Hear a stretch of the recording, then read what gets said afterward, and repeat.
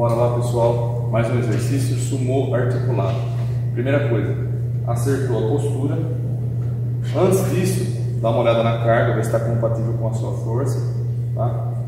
Os pés, a largura dos pés superior à largura do quadril, levemente apontado para fora, costas retas.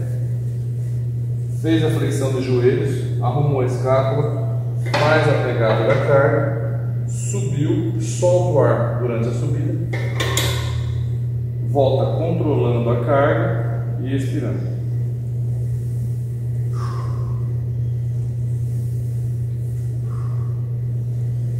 O que é importante nesse exercício, pessoal? Durante a parte concêntrica, que é a subida, a força deve estar nos calcanhares. O pé inteiro apoiado, porém a força nos calcanhares. As escapas sempre encaixadas. Nunca desfaz a postura. Tá? Então controla, solta. Escapas encaixadas, fazendo a força nos calcanhares. Beleza?